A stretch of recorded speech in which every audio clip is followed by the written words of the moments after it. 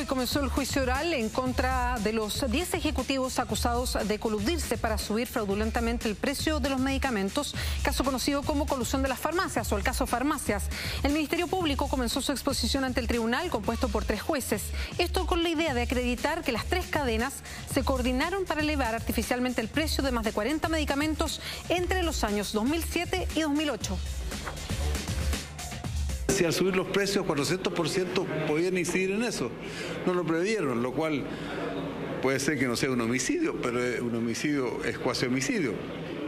Y eso es la gravedad de este tema. Entonces, cuando se discute que está fallado o no está fallado, distintas cosas, ¿qué, ¿qué, pensaría la opinión pública de un Estado que no sanciona a estas personas, que es mucho más fuerte que el caso Pente? En ese contexto entendemos que el tribunal debiera, al momento de resolver este caso en forma definitiva, desestimar esta argumentación.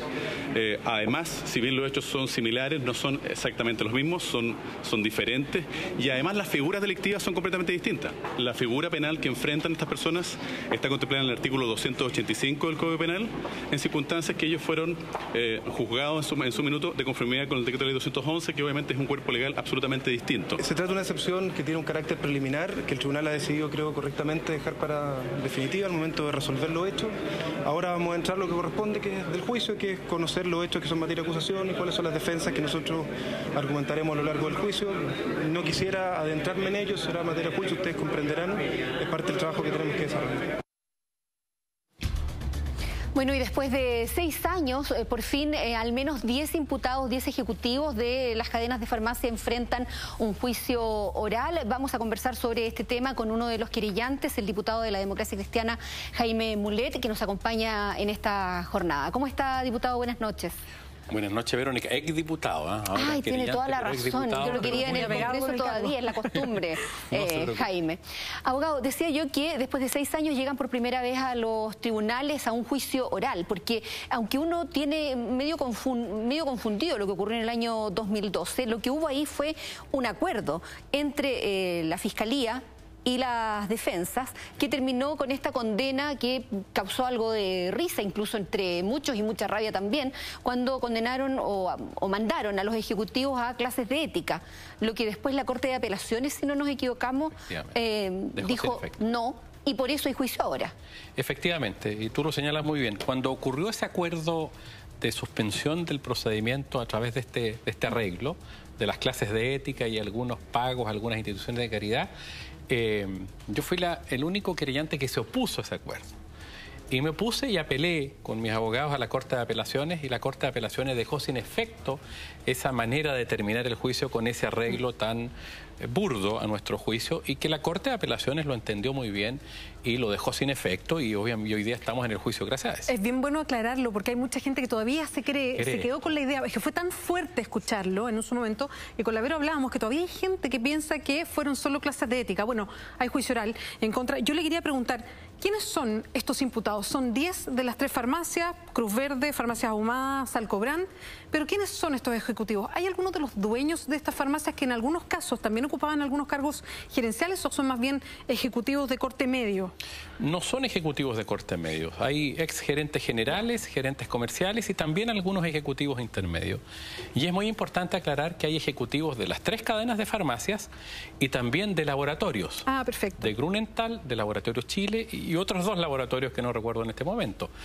Porque este último hecho que le relato es muy importante porque este es un juicio absolutamente distinto, aunque hay hechos similares y comunes, que el caso que se siguió ante el Tribunal de la Libre Competencia. Si usted quiere el mismo el hecho, la colusión gatilla las dos cosas, ese acuerdo donde se pusieron ellos y, se, y nos subieron los remedios a todos los chilenos y ganaron mucha plata con eso. Esta es la lista penal, en donde se busca juzgar a las personas naturales que cometieron un delito a juicio nuestro y que han sido imputados, acusados y hoy día están en el juicio oral. Jaime, perdón, ¿y por qué no están los dueños de eh, las cadenas? Porque entre los imputados? lo que se ha acreditado hasta ahora es la comisión del delito por parte de estos gerentes generales, gerentes comerciales y otros ejecutivos.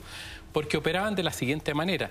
Los laboratorios aquí cumplen también un rol muy importante en la comisión de este delito, ya que a través de los ejecutivos de los laboratorios se ponían de acuerdo a las distintas cadenas de farmacia y actuaban los laboratorios como vasos comunicantes, no farmacia, ejecutivos de la farmacia, con farmacia, sino que a través de los laboratorios, buscando seguramente no dejar huellas de una colusión, pero obviamente fueron eh, descubiertos y eh, estos hechos son, son muy graves, tanto que hoy día los estamos eh, jugando. Jaime, em, después de la colusión de las farmacias que conocimos, entendimos el concepto de colusión, antes no era algo que tuviéramos presente, porque claro, esto afectó a tanta gente, pero después vino la colusión de los pollos que se está investigando, está todavía en la Fiscalía Económica, está en este tipo de delito todavía, em, y otras más, algunas de dos empresas de buses, en fin, y hay otras investigaciones ah. abiertas, en fin.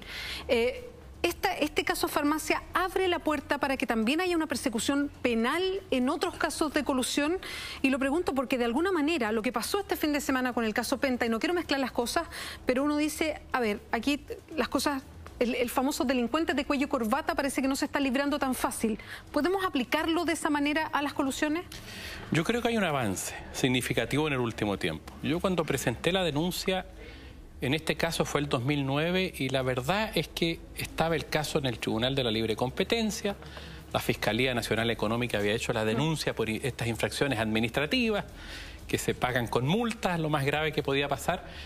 Y abrimos la lista penal, ¿ah? pidiéndole al Ministerio Público que active la acción penal y que vea la comisión de un delito que nosotros afirmamos que ocurrió y que bueno, después la Fiscalía acusa, en fin, y estamos en este, en este juicio muy importante.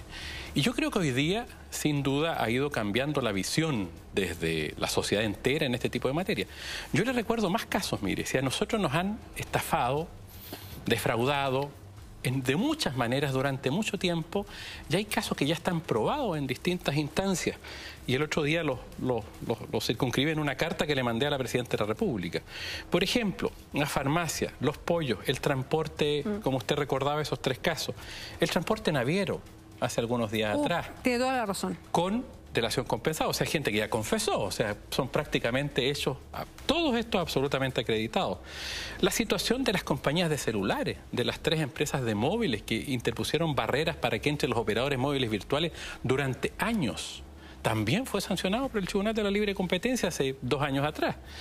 El caso del encargo, que fue sancionado por el, eh, la SEC de Estados Unidos, también por eh, prácticas atentatorias a la libre competencia. Eh, han habido también acuerdos que no han tenido mucha connotación pública en las cervezas, en los detergentes, en distintos mercados, donde han habido arreglos reparatorios pero nos han estado sacando eh, ilícitamente recursos a todos los consumidores. usted está diciendo que eh, todo esto, claro, usted, lo junta y parece muchísimo. lo que pasa es que cuando van apareciendo, parece que fueran casos puntuales. Parece que es una práctica generalizada de los empresarios esto. Yo creo que hay un abuso del poder en Chile, así lo circunscribo yo en esta carta, porque le agrego los otros casos, los casos de uso de información privilegiada que ya están comprobados, mm. los más recientes.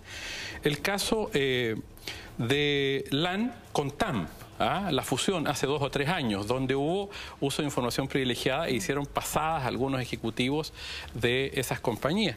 El caso de Falabella con DIS, una frustrada fusión, donde también fueron sancionados eh, directores de esas mm. compañías. el caso de SFR, Recalcine, el, caso de Juan Bilbao y Tomás Hurtadora, y el caso Soquimich, Cascadas, que son los más recientes. Jaime, en el, caso de las farmacias, que es el que nos convocaba en concreto, la Fiscalía está pidiendo cinco años de eh, prisión para los imputados. ¿Usted cree que terminen efectivamente pagando con cárcel los ejecutivos?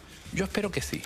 Yo creo que la Fiscalía, cuando hace la acusación, y creo que ha hecho un muy buen trabajo el señor fiscal, don Jaime Retamar y su equipo, eh, pide cinco años para cada uno de los diez ejecutivos porque si bien es cierto el delito tiene una pena relativamente baja, se trata de reiteración de delitos. O sea, son varios delitos los que se cometieron y eso hace que la pena aumente.